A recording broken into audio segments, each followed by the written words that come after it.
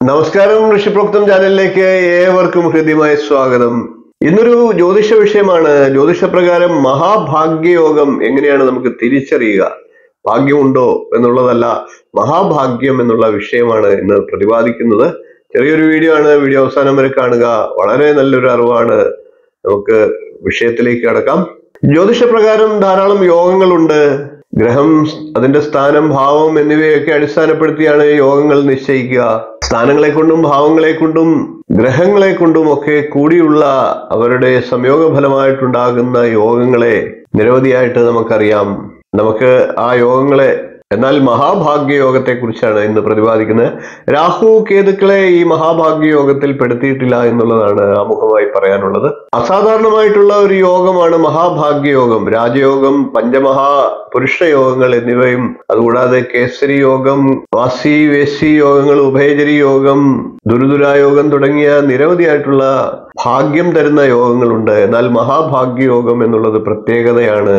അത് നിങ്ങളുടെ ജാതകത്തിലുണ്ടെങ്കിൽ ഏത് താഴ്ന്ന അവസ്ഥയിൽ നിന്നും നിങ്ങൾക്ക് ഉയർച്ചയിലെത്താനായിട്ട് സാധിക്കും. അതുകൊണ്ട് തന്നെയാണ് ഇതൊരു അസാധാരണ യോഗമാണ് എന്ന് പറയുന്നത്. ആ യോഗം ആർക്കുണ്ട്? എങ്ങനെയാണ് അത് രൂപപ്പെടുക എന്നുള്ളതാണ് ഇന്ന് പരിശോധിക്കുന്നത്. മഹാഭാഗ്യയോഗം ജാതകത്തിൽ വളരെ അപൂർവമായിട്ടാണ് കാണപ്പെടുന്നത്. ഒറ്റ നോട്ടത്തിലൊക്കെ അത് ശ്രദ്ധയിൽപ്പെടാൻ വിഷമവുമായിരിക്കും.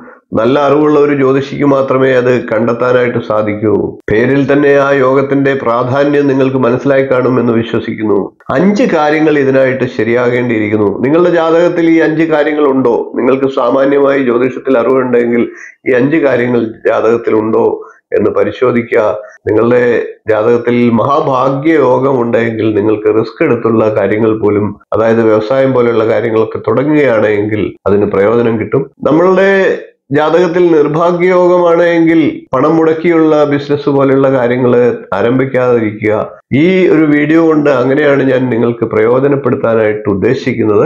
അഞ്ച് കാര്യങ്ങളാണ് ശരിയാകേണ്ടത് എന്ന് പറഞ്ഞു കഴിഞ്ഞു. അങ്ങനെ അഞ്ച് കാര്യങ്ങളും ഒരുപോലെ ശരിയായെങ്കിൽ മാത്രമേ മഹാഭാഗ്യയോഗം ഉണ്ടാകുകയുള്ളൂ. അതെന്തൊക്കെയാണ് എന്ന് പരിശോധിക്കാം.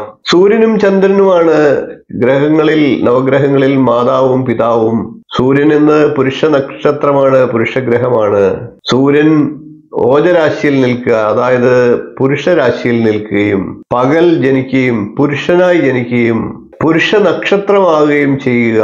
ഇങ്ങനെ വരുമ്പോൾ മഹാഭാഗ്യയോഗമാകും. അതേപോലെ തന്നെ ചന്ദ്രനും പുരുഷ നക്ഷത്രത്തിൽ നിൽക്കുക പുരുഷ രാശിയിൽ നിൽക്കുക അതായത് ഓജരാശിയിൽ നിൽക്കുക. പകൽ ജനിക്കുക എന്നുള്ളത് പറഞ്ഞു കഴിഞ്ഞു. ഇങ്ങനെ സൂര്യനും ചന്ദ്രനും ഇത്തരത്തിൽ പൂർണമായിട്ട് പുരുഷ യോഗത്തിൽ വരുമ്പോഴാണ് മഹാഭാഗ്യയോഗം വരുന്നത്. പകൽ ജനിക്കുകയും കൂടി വേണം.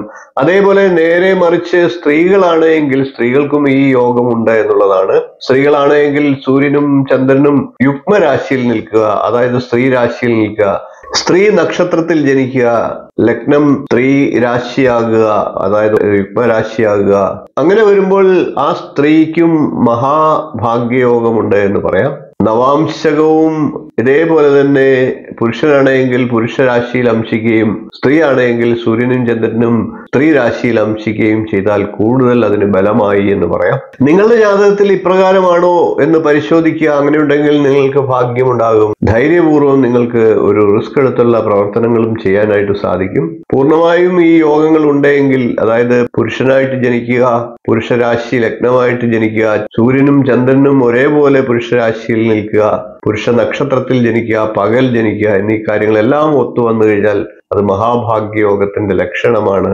ലഗ്നത്തിലേക്ക് ശുഭഗ്രഹ ദൃഷ്ടിയും ലഗ്നാധിപൻ ശുഭഗ്രഹ യോഗത്തിലോ അല്ലെങ്കിൽ ദൃഷ്ടിയിലോ പ്രധാന ഭാവങ്ങളിലോ ഒക്കെ നിൽക്കുകയും ചെയ്തു കഴിഞ്ഞാൽ ആ യോഗത്തിന് പൂർണതയുണ്ട് എന്ന് പറയാം. ഇതേപോലെ തന്നെ സ്ത്രീക്കും നമുക്ക് പറയാവുന്നതാണ്. സ്ത്രീക്കും മഹാഭാഗ്യയോഗം ഇപ്രകാരം തന്നെ ലഭിക്കും. ഈ മഹാഭാഗ്യയോഗത്തിൽ ജനിക്കുന്ന ഒരു വ്യക്തിക്ക് ഉന്നത വ്യക്തികളാൽ ഇഷ്ടമുണ്ടാകും. അവർക്ക് എല്ലാ സുഖ സൗകര്യങ്ങളും പിന്നീട് ലഭിക്കും. ഇവർക്ക് നല്ല സന്താനങ്ങൾ ഉണ്ടാകും നല്ല തൊഴിൽ ലഭിക്കും. ഉത്കൃഷ്ടവും സുഖശീലതയും ഒക്കെ ഇവർക്ക് ലഭിക്കുന്നതാണ്. കൂടാതെ പാണ്ഡിത്യവും ഇവരിൽ ഉണ്ടാകും.